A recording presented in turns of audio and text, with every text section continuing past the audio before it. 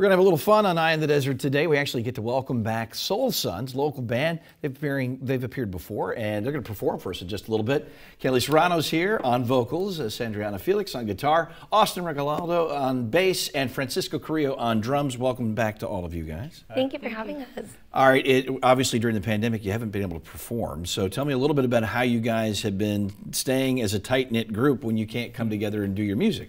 So we've been pr practicing at each other's houses and we just kind of meet up every once in a while and we start working on new music as well as our originals and you know upcoming covers as well.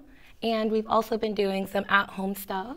Oh yeah, so we've been recording an album probably for the past couple years, but now with the pandemic we have way more time, so we've been in the studio a lot.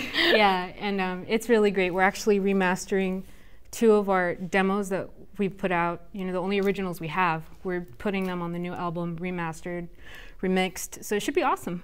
That is very cool. Obviously, it's unfortunate you can't perform live. And I know we were talking eh, before we got started here. You've had a couple of offers for gigs, but you guys are being very cautious about it, and obviously with the Delta variant, everybody's a little more concerned about it. So, yes. still waiting to get back to doing live stuff. Yes, we are, and uh, for the meantime, we are just practicing guidelines, and you know, we're just ready until every everybody else is ready and everything's opening up. We'll gladly accept those offers. Mm -hmm. Now, I know that you guys you, you do some cover music, but you have some originals, and you're going to be performing an original for us here, correct? Yes, we will be playing Edith, our acoustic version, and we are just super excited to go ahead and play that original for you guys. We're also going to play Dreams by Fleetwood Mac as a cover to spice it up.